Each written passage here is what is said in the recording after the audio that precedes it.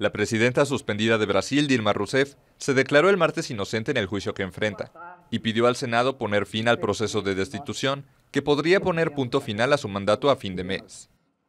Precisamos fortalecer Necesitamos fortalecer la democracia en nuestro país y para esto será necesario que el Senado cierre el proceso de destitución. proceso de impeachment en curso, reconociendo ante las pruebas irrefutables que no hubo crimen de responsabilidad, que soy inocente. Inocente. Desde el Palacio de la Alborada, Rousseff leyó una carta abierta al pueblo brasileño en la que prometió que si no es destituida, convocará un plebiscito para que los ciudadanos decidan si quieren anticipar las elecciones presidenciales previstas para 2018.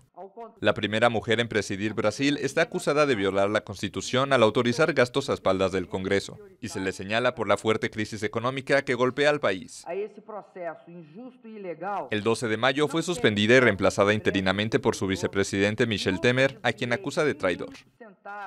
La etapa final de su juicio comenzará el 25 de agosto y se extenderá por cinco días.